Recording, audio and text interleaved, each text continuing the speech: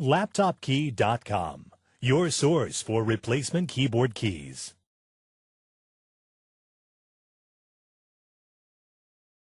Notice, when trying to repair your laptop keyboard keys, searching by the laptop brand and model may not always be enough information. Many times laptop manufacturers produce keyboards that look the same on the outside, however have differences underneath the keys.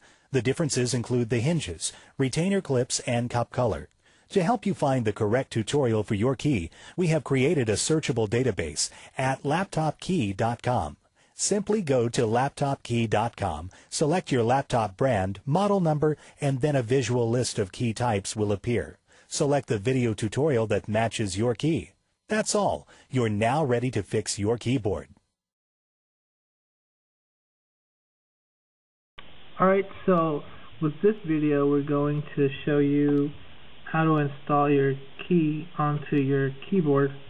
And we're going to start out by looking at the uh, key section which is this. We're going to insert the J key. Now you want to start out by looking at those metal hooks that are on the keyboard itself. In the top right and left corners there's two small hooks and at the bottom there's one large hook. So make sure to look at your different keys because those can change position uh, the large one can be at the top or maybe to the side. So that determines the position for the hinges which are these. Now we're going to um, do three steps. The first one is to click these two pieces together.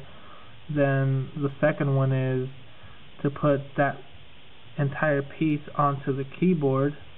And the third one is to click the keycap on top of that so we're going to start by determining the position of the large piece. And you can see this piece has two pins at the top and like the top corners and two smaller pins in the bottom corners. Now in the middle it has some holes that are going to accept the pins that are in the other hinge. Now make sure not to put this whole piece upside down like that because it'll look the same but it won't allow the mechanism to work. You have to feel underneath the vertical bars and if you feel a bump that faces the keyboard. If you feel the top uh, it's if you feel that it's smooth it faces away from the keyboard.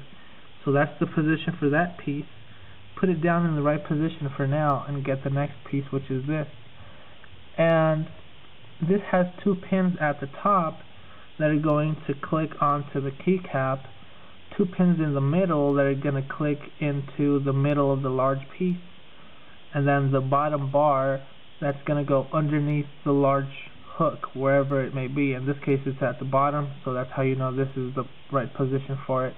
If the hook were on top then you want to align this with the uh, the hook uh, same thing for the large piece. If um, you know if the hook is in the top, then you want this the small pins at the top. Now make sure not to put this piece upside down with uh, the same technique. You feel underneath the top bar and if you feel a gap uh, you might even be able to see that gap that faces the keyboard and the other part, I mean the other side is supposed to be one smooth piece.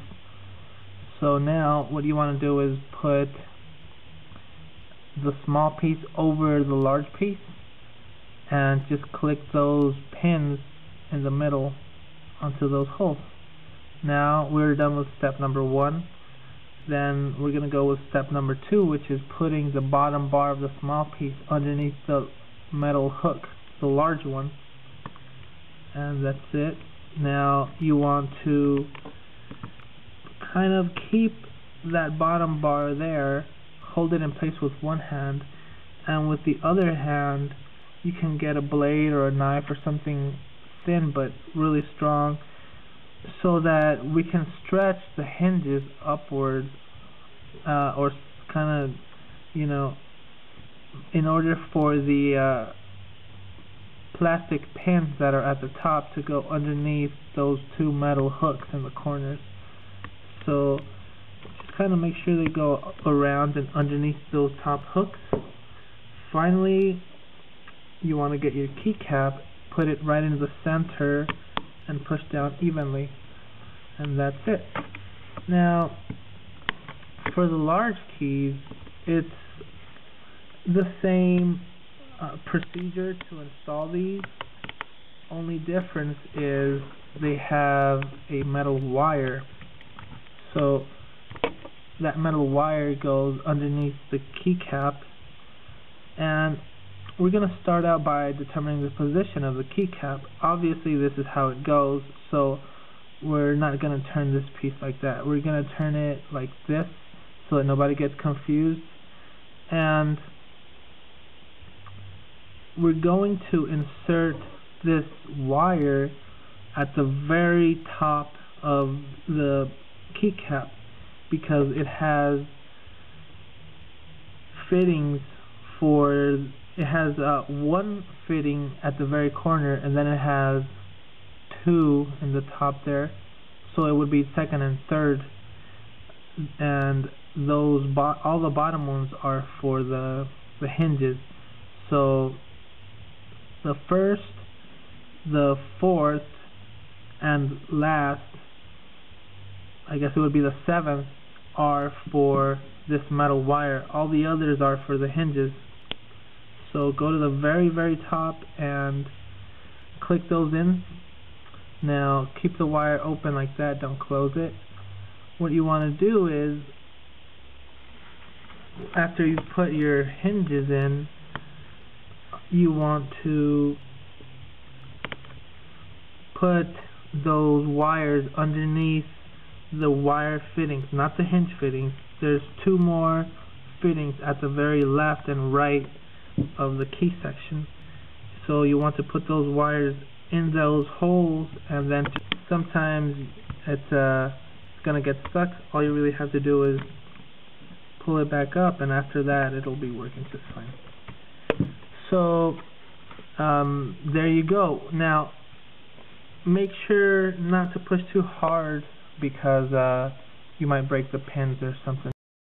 LaptopKey.com, your source for replacement keyboard keys.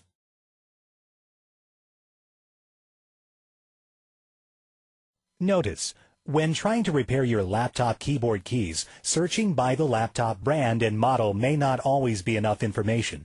Many times laptop manufacturers produce keyboards that look the same on the outside, however have differences underneath the keys. The differences include the hinges, retainer clips, and cup color.